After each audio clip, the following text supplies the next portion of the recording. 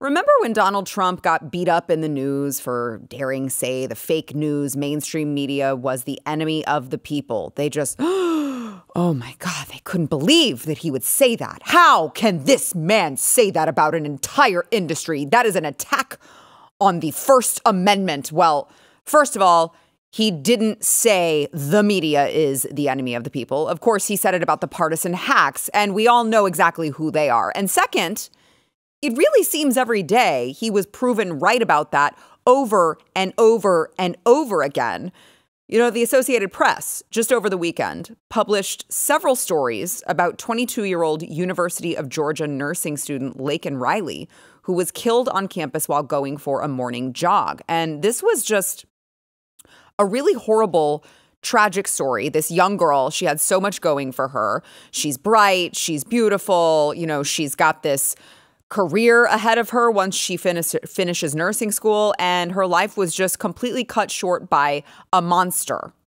Now, I want to give you the art, the, deta- the details of this story by reading directly from the AP article. Okay, a 26 year old man was arrested Friday in the killing of a nursing student whose body was found on the University of Georgia campus. And police said he apparently did not know the victim. He acted alone, and there was no further threat to the university communi- community.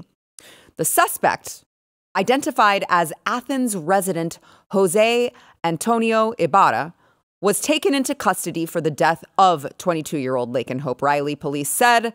The body of Augusta University College of Nursing student was found near the running trails Thursday, launching a highly visible police investigation that centered on an apartment complex just south of there. Well, there's a little tidbit that you didn't hear in this AP story right here, and that is that this Athens resident, Jose Ibarra, is in fact an illegal immigrant here from Venezuela. You know, just a, a minor detail. I'm sure that it was just, you know, an oversight, okay? Just a little oopsie.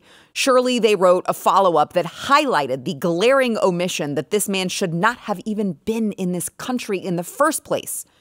You have to imagine, surely it's incompetence rather than a deliberate act of deception. This is, after all, the Associated Press. They've been around since like the 1800s.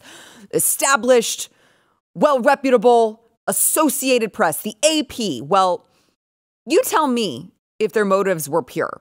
They did write a follow up on this story. It was titled, The Killing of a Nursing Student Out for a Run Highlights the Fears of Solo Female Athletes. And in this article, it discussed the dangers female runners face, perceived and real, and the hypervigilance women must take going out, even for a run on campus. So, that's the root cause of the problem. Toxic masculinity, right? Men who just can't control themselves. That's what's to blame here. Nothing else to see. In fact, the author of that disgusting piece of garbage, Janie Har, even used another anecdotal example in her writing to prove the horrific nature of toxic masculinity, these men who just can't control their urges. And she brought up the 2018 murder of University of Iowa student Molly Tibbetts to further prove her point. There's just one problem. Molly Tibbetts, uh, who was found like dismembered in a cornfield. It was just this horrible, gruesome, gruesome sight. Well, she was also murdered by an illegal immigrant. So, two examples this author gives to try to prove the point that is toxic masculinity, except both examples that she tries to use to prove her point, both women were murdered by illegal immigrants. But that doesn't fit the narrative. That's not good for optics. It's really not good for optics. And you know what else isn't good for optics? You're going to be shocked to hear this, you guys. The man who just murdered Laken Riley already had a criminal history here in this country. And I do mean after he entered the country illegally, because that is, his, of course, his first criminal history here in this country. So, according to ICE, this monster crossed illegally into El Paso in September 2022 and was released into the United States via parole. I love how they call it parole. They're like, let's super duper pinky promise that you are going to show up to court. And they're like, wink, wink, yes, I will. Well, let me see, 2032, yep, I'll show up. So he's released right into the country. September 2022. Nearly a year later, In September 2023, New York police, NYPD, arrested him in New York City for acting in a manner to injure a child less than age 17. But NYPD released him once again right into the interior of the country before an ICE detainer could be issued. Wow. So turns out it's a sanctuary city for everyone but you, the law abiding American citizen. But you didn't see any of those details in the Associated Press what a slap in the face to this poor girl and like her grieving family, reducing her senseless death to a mere footnote in the culture wars because you don't want to admit the actual problem, the actual glaring problem that is right in front of you. It's so easy. The problem is so easy. It's so easy to find out. Allowing completely unvetted strangers into the interior of the country, it turns out, is not a great policy. And recall that, as many have pointed out, St. George Floyd overdosed on drugs and received three funerals at a time, by the way, when you weren't even allowed to stay with your dying relatives in a hospital. You were not allowed to come visit your relatives in a hospital. You couldn't do that because everyone was on lockdown.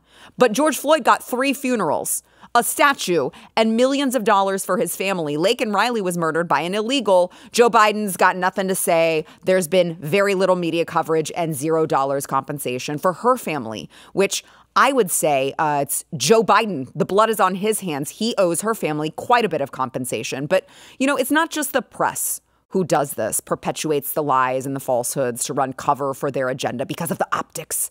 It's, of course, the lawmakers themselves. And uh, our very own favorite, Alexandria Ocasio Cortez, a woman who represents a district in New York, of all places, a place that has seen their state decimated by illegals actually had the audacity to go on NBC, MSNBC, I should say, over the weekend and say that the border crisis is just the false narrative. Watch. There is not only no moral calculation, there is no economic calculation, there is no logical calculation, there is only a political calculation.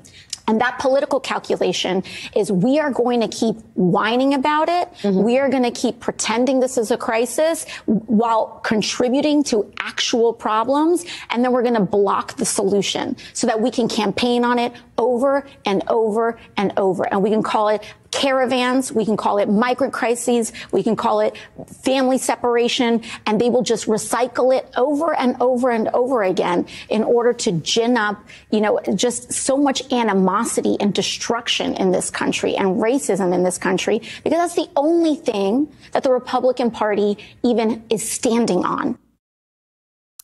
I did hear her tell on herself again. There there is no moral calculation, no economic calculation, no calculation whatsoever. It is purely a political calculation. Yes, that's you. There is no moral calculation for what you guys are doing to this country, the devastation that you are wreaking upon this country because of your stupid political calculation. The economic, there I can guarantee you there's no economic calculation for the types of, I mean, the billions and billions of dollars that we are going to be forced to spend on these people, that we are currently spending on these people with absolutely no way out and by the way, she went on in that interview to talk about, well, the Republicans reject all of these all of these solutions like a path to citizenship and and work papers and partnerships with businesses who need employees. No. No. Just no. No path to citizenship, no work papers, no compromise. And I just want you, if you will, juxtapose what you just heard from radical left darling AOC, not addressing the problem at all, trying to tell you, you look, the problem is you because there's no problem at all according to anyone else. Okay? You you your lying eyes deceive you. There's no problem. It's just a false narrative that the Republicans are ginning up to create, you know, some sort of a uh, anger within their base. It's just, and look, all of those people flooding through the borders. Those that's just those are just deep fake videos, I guess. That that isn't actually happening. The border patrol fist bumping all of these illegals as they're working their way into the interior of the country. That's that's just that's that's Gemini, uh, Google Gemini. That's just AI. Don't worry about that. So juxtapose that type of rhetoric. Okay, the, there's no problem. There's no problem at all. What problem? What are you talking about? What problem? I don't see a problem. To Donald Trump over the weekend at CPAC. Watch. And they do come from prisons and mental institutions, and they are terrorists. And we're going to be paying a price, and it'll be the largest deportation in the history of our country. And we have no, we have no choice. And it's not a nice thing to say, and I hate to say it. And those clowns in the media will say, oh, he's so mean. He said, no, no, they're killing our people. They're killing our country. They're killing our people. We have no choice.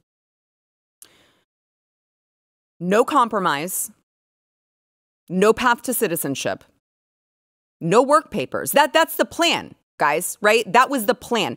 If we allow that to happen, we are falling into their trap. That was the plan. Let these people in, okay?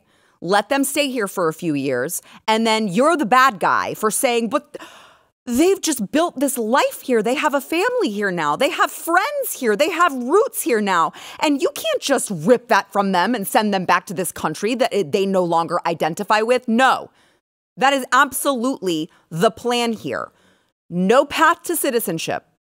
No mass deportation is the only answer. And for all of Donald Trump's flaws, I know, I know, there are some of you who say, well, he talked about deporting people the first time around and he didn't actually uh, deport as many people. Well, first of all, don't hold it against him that there were far less people trying to come into the country because of his rhetoric, because of his tough talk.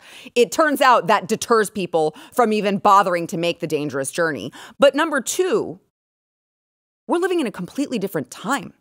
I mean, Joe Biden has doubled the amount of illegal immigrants in the country almost as compared to what it was before he arrived at the helm of things. So I would argue Now's the time that Donald Trump sees that he really has to spring into action. I do not believe that this is just rhetoric. I believe that he understands because he was so tough on his rhetoric, because he wanted to build the wall, the foundation for already understanding that this is a problem was there already. To see the devastation that the Biden administration has caused in just three short years. Donald Trump, and by the way, Stephen Miller has already said, Mass deportations begin at noon on Inauguration Day. And I would say, I mean, not soon enough, but if it ha- if I have to wait till inauguration day on noon, fine. But I'm not waiting any longer than that. If you like this clip and you want to see the full episode, click here. And if you want to subscribe to the channel, come on, you know you do. Click here.